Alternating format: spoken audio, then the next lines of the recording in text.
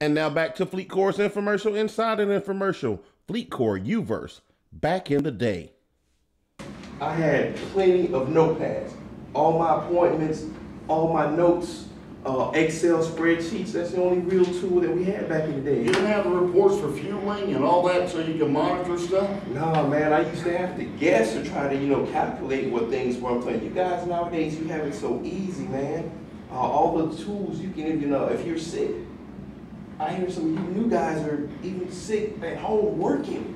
I know, I Working at- log on to Salesforce all the time, every night, Every night. every night, to look at stuff. Man, man, think times have really changed, man. Times have really changed.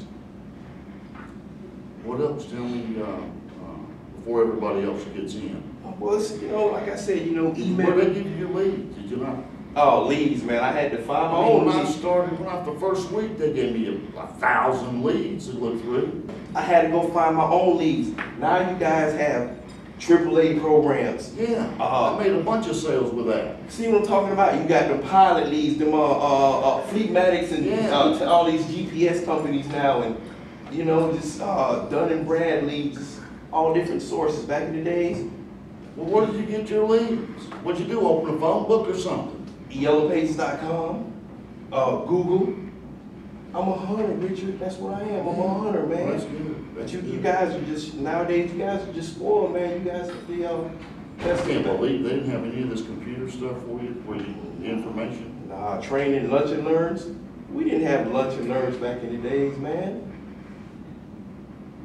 Boy, I can't believe it. We got it, man. Yeah, you do. You do. It's good, You do. Make sure you continue using all your tools and take advantage of the opportunity. I, I will. FleetCor, where you don't have to be a tool to use one. I was here first. Whatever, Mike. Not so fast. What were you gonna say?